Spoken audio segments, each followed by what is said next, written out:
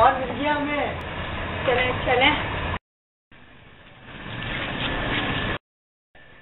ये रहा मीर साहब ये रहा शिकार। रुक रुक रुक अबे हाँ भाई फारूक कल का मैच पक्का है ना अस्सलाम वालेकुम।